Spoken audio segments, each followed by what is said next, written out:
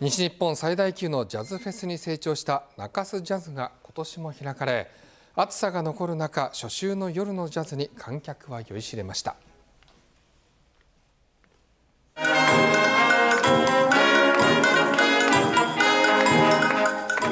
は私たちの地元と意気揚々の中田中学校吹奏楽部。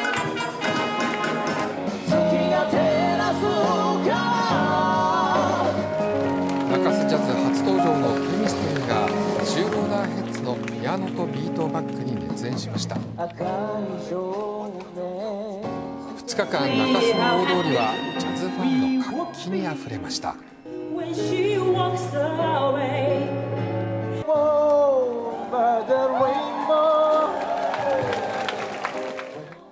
総勢60組のアーティストの締めくくりは森口博子さん。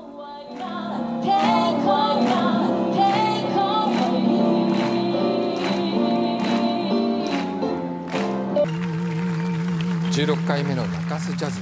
KBC テレビで来月4日午後11時15分から特別番組を放送します。